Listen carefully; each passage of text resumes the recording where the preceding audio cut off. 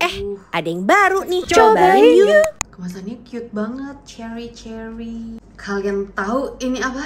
Butter balmnya BLP. Baru banget nyampe PR package yang langsung ku bongkar. Kecil, butter balm.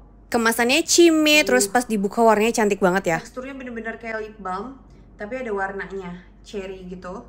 Ada wanginya. Langsung pakai aja. Ini di bibirku yang belum pakai apa-apa.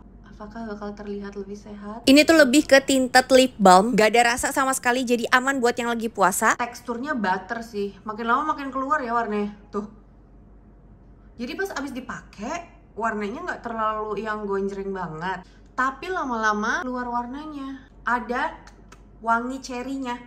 Kalau di blend, aduh ini enak banget teksturnya. Didiamin lama-lama jadi kayak warna natural asli bibir aja. Jadi kepikiran ini aman gak ya buat sekolah?